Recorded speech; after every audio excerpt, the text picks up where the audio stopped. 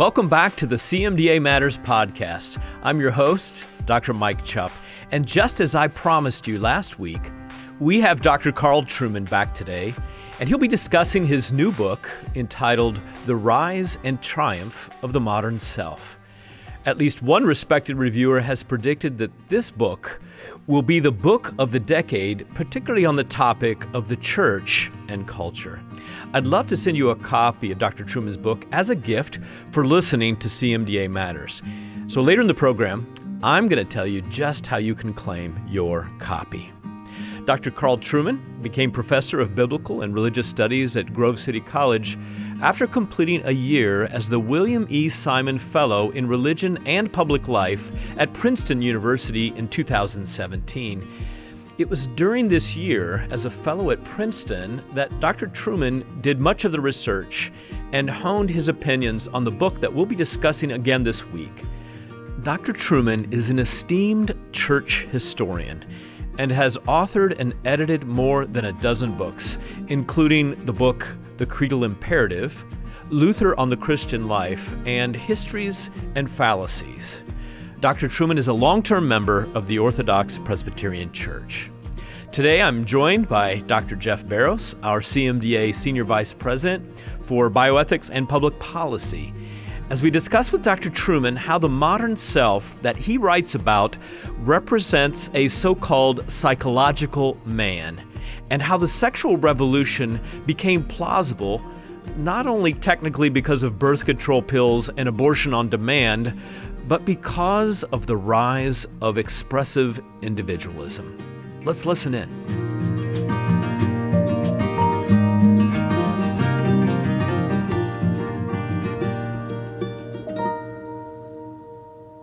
Well, I want to welcome you back uh, to CMDA Matters. And our guest again this week is none other than Dr. Carl Trueman, who's professor at Grove City College in Pennsylvania. And Dr. Trueman, I don't know how many of our listeners out there, physicians like me, were so keen on getting to take care of patients that sped through the pre medical years and through medical school and didn't pay a whole lot of attention to political science or history, philosophy, and Christian thought. I had one course in my undergrad liberal arts school, and reading through your book, man, I was uh, exposed to Marx and Freud and Nietzsche and Locke and Rousseau, all these people, man, I may have heard of them, but I knew very little. And then to find out that they are key players. I wanted to start off this week's conversation, Dr. Trueman, by you mentioned that Freud's most of his his models, his theories have been debunked over the decades, and yet we find him still so influential in this modern self. How does that happen that someone that most of his peers uh, say, eh, these things aren't reality, but we're going to hang on this social imaginary, it's still going to have impact? Yeah, it's an interesting question about Freud, and I think the answer is there's a sort of twofold answer to that. The, the one side of it is some of what Freud says is is actually true, and I think uh, holds water. And secondly, uh, a lot of what Freud says may not be true, but it's very appealing, and we want it to be true. Uh, as to the first, uh, I think Freud's great insight is that if you want to know what a society holds dear, look at what it forbids. Look at the things that are taboo in society. And of course, much of what society has forbidden over the years has been sexual. And I, I think that's true. If you look at uh, you know, it, families that va- uh, societies that value the family have very strict rules on sexual behavior that protect the family structure. Now, what's interesting and what's perhaps disturbing on that front is the the implication of what Freud says there is that when we reach a point where less and less is being forbidden, you're actually reaching a point where society is in some way starting to crumble or fall apart. And one of the worrying things about the sexual revolution is this wholesale overthrowing of traditional sexual morality must ultimately come with a social and cultural cost because sexual taboos are central to holding society together. And I think on that front, you know, that's what I positively use Freud, if you like. I think Freud is is strong there. And I would say, you know, when you look at the Bible, look at the Ten Commandments. The Ten Commandments are marked by what? Banning things, mm-hmm. telling you what you can't do, taboos, setting limits beyond which you must not pass. And when we move into a, a, a, a cultural moment as we are now, where the old taboos are being overthrown almost every week, uh, I think we are justified in thinking that we are potentially heading into a, a time of great cultural instability. The second aspect of Freud is, I think, when, when he tells us that we are fundamentally sexual beings and that our happiness is to be found in sexual satisfaction, that's kind of half true. Bottom line is, for most of us, our sexual desires are a strong part of who we are. And sexual activity does bring, as Freud points out, intense happiness, intense pleasure. And, you know, nobody's ever lost money selling sex. A philosopher comes along and tells you, hey, the way for you to be really happy is for you to just let rip relative to your sexual desires and indulge them as much as you possibly can that's a winning sales pitch. it's a winning sales pitch, I think. So I think part of the power of Freud is yes, we know that things like the Oedipus complex, et cetera, et cetera, the death drive, all of this stuff has now been, I think, debunked by and large. And Freud, in certainly in the psychology classes at, at Grove, as far as I can make out, Freud, you know, Freud is looked at in terms of a figure of historical interest, not a living influence on the discipline. But in terms of those basic ideas, I think they've made their way into that social imaginary we talked about last time. And they've done so because they appeal to us. In terms of the sexual revolution, what do you believe to be the cause and what set these changes that we're seeing today in motion? Yeah, the sexual revolution is interesting. And again, the, the temptation for Christians, of course, is to, to blame it on the 60s yeah, we tend to think of the sexual revolution as something that happened in the 60s, and therefore the 60s are to blame. Uh, and there's a lot of truth to that chronologically. The, the sexual revolution takes off in the 60s. But of course, the 60s didn't come out of nowhere. 60s were caused by the 50s, that were caused by the 40s, that were caused by the 30s, etc., etc. Uh, I would say that uh, in, in Western culture, a series of key moves uh, took place that led to the sexual uh, revolution. Some of them are intellectual. And in the book, I really focus very much on the intellectual narrative. I think what you find in the late 17th and then on into the 18th century is an authorization of psychology. What I mean by psychology is, is the inner space of feeling for human beings. That the move is made there to saying, you know, that which you are at a most fundamental level is your feelings what you find then in the 19th century is is that feelings are first of all detached from any moral framework by people like Nietzsche. Nietzsche essentially says, you know, there is no metaphysical moral structure to the universe to which we need to conform ourselves. Morality is a con trick played by the weak on the strong your feelings are just your feelings. They, they don't have any moral quality uh, uh, other than that. And then that's really picked up. Uh, we find a parallel in the scientific uh, narrative with a man like Freud, who says, essentially says that it's correct that we are who, who we feel we are inside but the, the sting in the tail is those desires, those feelings are fundamentally grounded in sexual desire. They're dark. Our inner space is a dark space of sexual desire. By doing that, Freud makes a, a key philosophical mood, move in the understanding of sex. Sex moves from being an activity to being an identity. If you read the Bible, there's plenty of sex in the Bible. Some of it's considered legitimate, uh, some of it's illegitimate, but it's always an activity what you get when with Freud is he's saying, you know, you are your desires, and as your desires are sexual desires, then you are your sexual desires. That really provides the framework for modern thinking where people identify themselves as lesbian, gay, straight, bi, trans, etc., etc. Your desires become your identity at that point. As soon as you make that move, of course, sex is going to become political because one of the central parts of, of legal codes throughout history has been the policing, the corralling, the restricting, the shaping of social sexual behavior. That's a basic element of society throughout the ages. So once you make sex identity, you make sexual codes political at that point. You make sex very political. So that's one aspect of the story that sets up for the, the sexual revolution. When you look at the rhetoric, for example, of the student rebellions of 1968, there's a lot of sexual rhetoric there. The student rebellions of 1968, you know, are often about sexual liberation. The liberation of human beings is the transgressing, the overthrowing of the old sexual codes. There's also a technological revolution. And this goes to that social imaginary issue we talked about a few moments ago. Uh, in order for something to become actual, it has to be possible and it has to be plausible. And the pill, of all things, above all things, the pill, and then at a later state, easy on demand abortion make the sexual revolution plausible because there you can have sex with comparatively few social consequences which was not the case throughout much of history. You think about it, you know, if you're a, a 19th century guy, uh, you know, you're 19, 20, uh, your, your, hormones are raging, uh, you know, you, you want to have sex with a woman. Well, what do you got to do? You've got to get a job. You've got to be clean. You've got to prove to her parents that you have a future. If you mess around, you'll find that her father and her brothers come after you to teach you a lesson. Uh, you can't get away with breaking the sexual mores of your day. Come the 60s, none of those things apply. You can be a you know a total loser by modern standards, and still you know uh, enjoy an active sexual life because sex no longer carries the kind of consequences that it once did.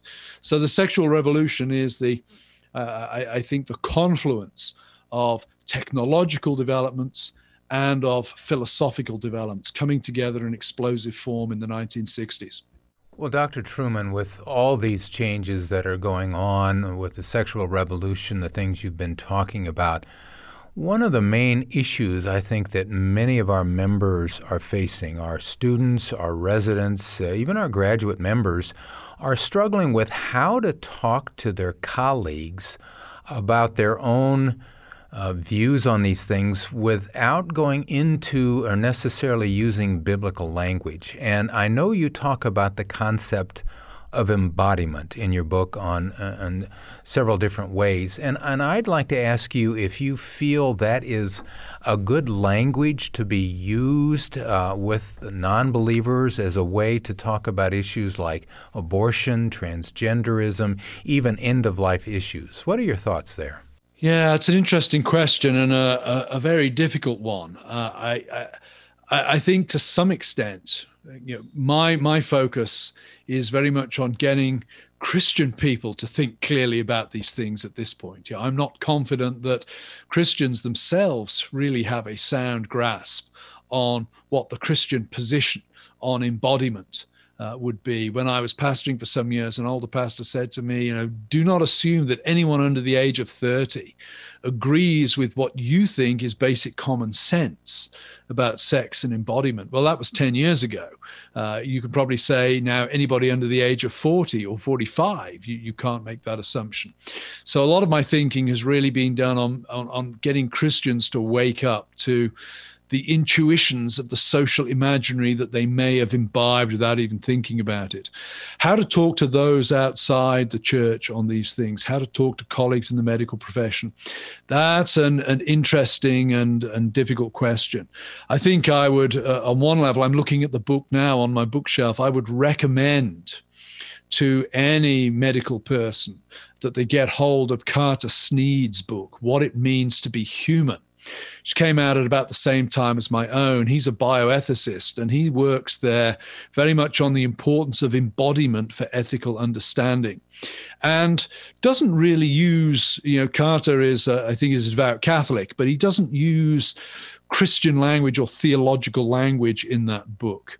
And he re- he starts to work there from the idea of well, whatever else we are, we are bodies. And that means that whatever else we are, we are dependent creatures. You know, Rousseau has this ridiculous statement that man is born free and everywhere is in chains. If ever a philosophical statement was was so obviously untrue and yet has come to be so influential, Uh, that has to be it. Yeah, man is born incredibly dependent upon his parents, and we spend our lives pretty much dependent upon other people and on other bodies because of our own embodiment. And finally, at the end of life, we sort of revert to the same kind of bodily dependency we had at the start of life. So, one way I think that, that to go about this would really be to, to try to get people to think about the importance of the body. I also think pointing people to the integrity of the body. I don't know if it's still the case, but it used to be the case that you could go to government medical websites and look at the, the various health conditions uh, uh, that afflicted uh, active homosexual men because of the lifestyle in which they engaged you know, one doesn't have to take a moral stand on those things to say, look, if if you behave in a certain way, you're shortening your lifespan. You're doing damage to your physical body. You're making yourself incredibly vulnerable to these illnesses, this damage, which cannot possibly be part of your general thriving and flourishing. So that would be another thing that I would do. Is I don't know if those websites even exist on government uh, on government sites anymore, but I'm sure that as medics you'd be able to get hold of the statistics for that relatively easy easily. So I, I think a real emphasis upon the body and on the importance of the body. I do think on the transgender question, there's a sense in which it's going to be very difficult in the near future. On the transgender question, I am relatively optimistic in the long term on the grounds that because the bodies are so important, they cannot be gerrymandered willy nilly, and nature will bite back. Tragically, hmm. there will be an awful lot of human suffering that takes place between now and the point when we see the tide turning. But again, I think a focus on the body has, you know, doing these things, the human body, messing with hormones, engaging in uh, in bodily mutilation. These things are ultimately futile and very, very damaging. In the book, uh, Dr. Trueman, you point out that with expressive individualism, that there's a focus on today, pleasure today, being happy today not thinking about the future so much. So you were mentioning that it, there is a little bit of hope in, in healthcare and with the body and with medicine because we can talk about what outcomes are. With what you have mentioned, that there is this temporal focus.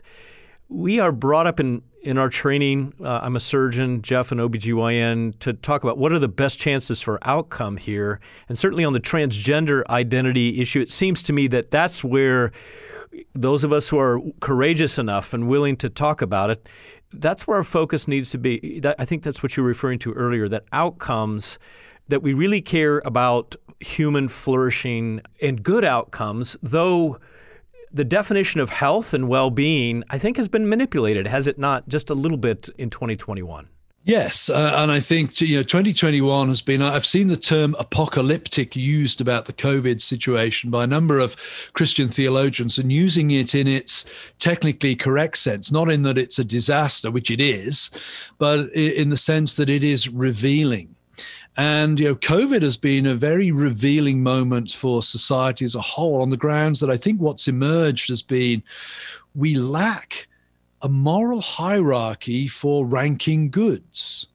I was very fortunate last year. My wife and I were very fortunate in that uh, she was uh, uh, flagged as a potential as potentially having cancer at the start of the year. And thankfully, we were able to go through all of the procedures before everything closed down. Uh, what was interesting was she was told by her physician afterwards that if we hadn't got through the process by the time COVID became the only show in town, they would have assumed a worst case scenario and, and, and done some pretty drastic surgery uh, in that case, which would actually have been completely pointless as this was a false alarm. And that really got me thinking that, wow, we're in a situation where, you know, the only danger is the clear and present danger. The only good is immediate survival. The long term effects of what we're doing relative to COVID uh, are not being taken into account in terms of, of health policy at this particular point. And none of this is to say that drastic measures weren't necessary. Think it's just that there didn't seem to be any discussion or thinking or nuance relative to, to the drastic measures. So I think the whole notion of of health seems to have become almost immediate survival slash doing things that make people feel safe rather than thinking about, well, what are the long term aggregate effects of the policies we are doing? What does this mean for long term mental health? My mum is a widow, has hardly seen anybody for the last 12 months. It's had an effect on her. How does that play into our understanding? And again, you make the point at the start expressive individualism will tend to collapse everything into the present moment, the needs of the present moment, the reassurance of the present moment. And I think we've seen that big time uh, relative to the, the COVID crisis over the last year. Well, as we conclude this week's interview, Dr. Trueman, you conclude the book, and I, I, will say I finished it a couple of days ago. It was a rather sobering conclusion. There were some bright spots and some not so bright spots. What hopeful things do you think readers can take away from your book after finishing this, which I mean, to me, this is like a textbook. I would love to sit under your teaching for a whole semester on the rise and triumph of the modern self. well, thanks very much. For anybody who's interested in not reading the book but getting a short version, uh, Grove City College actually has eight lectures uh, of mine online that basically do a sort of sweep through wow. the book. So you can save mm-hmm. yourself mm. all that reading if you want. I think, first of all, uh, you know, hope is not a strong suit in the book. I'm really wanting to give that analytical genealogy of where we are. And we're, you know, society is in a difficult place at the moment, and the church is in a difficult place. So I want people to be sobered up about what we're facing. I also want people to realize, you know, the church is likely to be shunted to the margins, at least for the rest of my lifetime, maybe for the next few centuries. Who knows? Uh, and that's a cause for lamentation. But it's not a cause for despair. Uh, and it's not a cause for despair for two reasons. Uh, one, there's the obvious reason. We have the promises. We know how history ends. The church wins. It may not be my denomination or my congregation or my generation that witnesses that. It may not be you know my nation that survives to see the church winning. But we know that the church wins. So in the long run, everything's going to be okay. Everything is okay. Death has already been overcome. In the more short term, though, I think that we need to avoid uh, seeing marginalization as a complete disaster. Because one of the things that history teaches us is that groups shunted to the margins form strong communities and become powerful simply by virtue of being strong communities. If you think of the Jews in medieval Europe, they were marginalized. And yet, the House of Rothschild becomes one of the most powerful banking institutions in Europe. Why? Because money lending was all they were allowed to do. And they became very good at it. And they looked after each other. They became very strong precisely through their marginalization. The Quakers were marginalized in England. And in the 19th century, they became powerhouses of the Industrial Revolution because it was all they were allowed to do. The LGBTQ movement is without doubt one of the strongest political lobbies and forces around today. How has it got that way? They were a true community. They look after each other. They were organized, they were intense, they were intentional. That's what the church should be. So I think uh, if I was going to say, maybe it's not hope, but it's to say this don't see our marginalization as a cause for despair see it as an opportunity to regroup, rethink, and become strong again. Well, we've run out of time, and uh, I, I, wish we could keep talking for quite a long time to Carl Trueman, uh, but it's truly been a delight. I strongly recommend uh, for each of our listeners to get your book. And where can we find those videos uh, from Grove City College that you were talking about? If you go to Grove City, www.gcc.edu, and look for, I think they're called Great Lectures from the Grove. There are, I think, a number of us who've done them, and um, they've actually forming the the basis of a short book that's coming out. It's going to be like a shorter version of the book coming out next year, which I hope will be useful for pastors, youth pastors, handing out to friends who don't want to read 400 pages, but maybe would cope with 120 pages. Well, you've taught this old surgeon some a lot of new things. Thank you. Thanks. Thanks for having me on.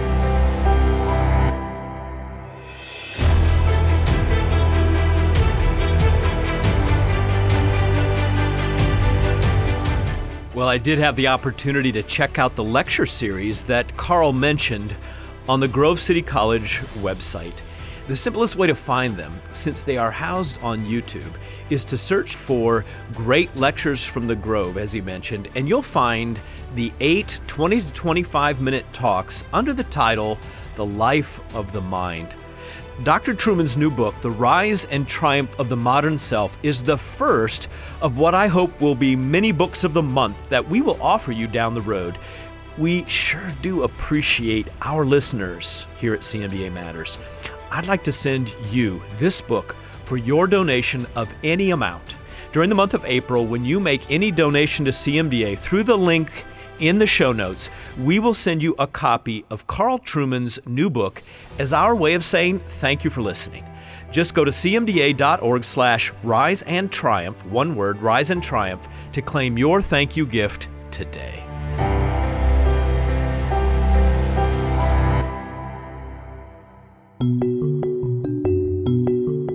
Dr. Trueman happened to mention the book in our interview today entitled What It Means to Be Human The Case for the Body in Public Bioethics by Dr. Carter Snead. It just so happens that our CMDA Ethics Committee started a book club that I was invited to join, and What It Means to Be Human is the first book that we are discussing together online. It makes a great companion reader to Dr. Trueman's book, I think. Our discussion today also made me think of a second great book from a past CMDA Matters guest, author Mr. Abdu Murray. In his book entitled Saving Truth, Abdu provides his perspective that it isn't too late to save our culture from the lies of the deceiver. Dr. Trueman's book, as well as Snead's What It Means to Be Human and Abdu Murray's Saving Truth, are all available online in our bookstore and will be linked in our show notes today. Or you can get your copy by calling 888 230 2637 today. Well, the CMDA Virtual National Convention, under the theme Courage Through the Crisis Stories from the Front Line, is now less than a month away. It will be April 29th through May 1st. This event will include lectures by notable speakers such as Dr. Albert Mohler, president of Southern Baptist Theological Seminary. And he just happens to be my guest on CMDA Matters next week. You won't want to miss that interview.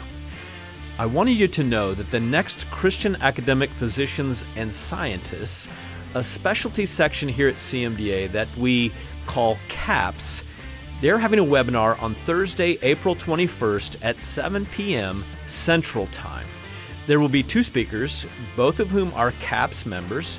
Robert Hoffman, MD, professor of pediatrics at Nationwide Hospital in Columbus, Ohio, and Ines Bardella, MD, a professor of family medicine at the University of Arkansas.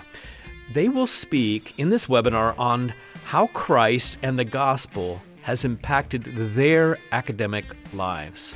There will be opportunities afterward for questions.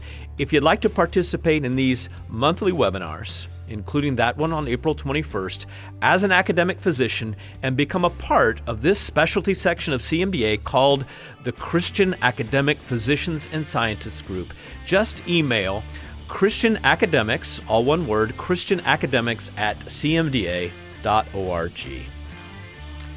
You can find out more information and register for these two events as well as several others by going to our website cmda.org/events or you can find links in our show notes today.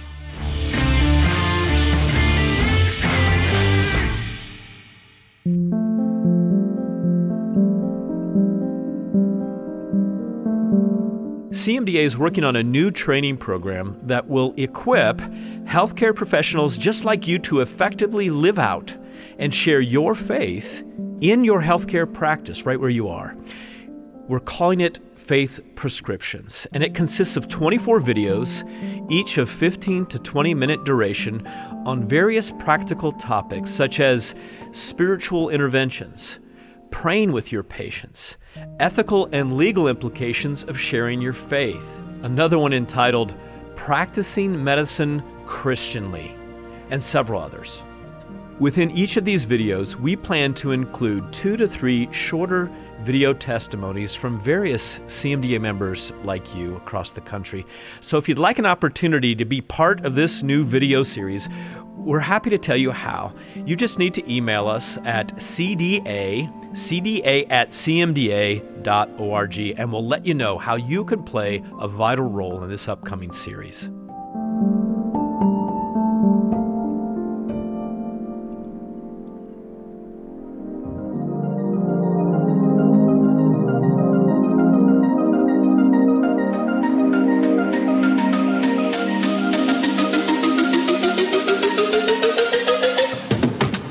As I bring this program this week to a close, I wanted to give you a short encouragement from John the Beloved, the Apostle, during this Passion Week. He tells us in his first epistle, 1 John chapter 5 verse 4, "For everyone born of God overcomes the world. This is the victory that has overcome the world, even our faith." Modernity and this post Christian and increasingly secular society that we call home has brought a new confusion surrounding one's very sense of self and identity. It is wreaking havoc on our culture and particularly damaging our youth during their most vulnerable developmental stages. As healthcare professionals, some of you who are also parents, I bet you see this every day. As Christians, it grieves all of us to see the moral unraveling of our society, which is no longer under a Judeo Christian safety net. As an organization, we at CMDA, we care deeply for those who have been deceived and live in this present darkness, which is why we work hard to bring you guests who share our faith and bring us keen insight like Dr. Trueman did today. We believe that sharing God's truth about the world and culture in which we live should matter to you as a Christian in healthcare. And so it matters to CMDA, and CMDA matters. Thanks for listening today. Be sure to catch Dr. Albert Mohler, one of our National Convention plenary speakers, on the podcast next week. God willing, we will see you again right here on CMDA Matters. Bye for now. This podcast has been a production of the Christian Medical and Dental Associations. The opinions expressed by guests on this podcast are not necessarily endorsed by the Christian Medical and Dental Associations. CMDA is a nonpartisan organization that does not endorse political parties or candidates for public office. The views expressed on this podcast reflect judgments regarding principles and values held by CMDA and its members and are not intended to imply endorsement of any political party or candidate.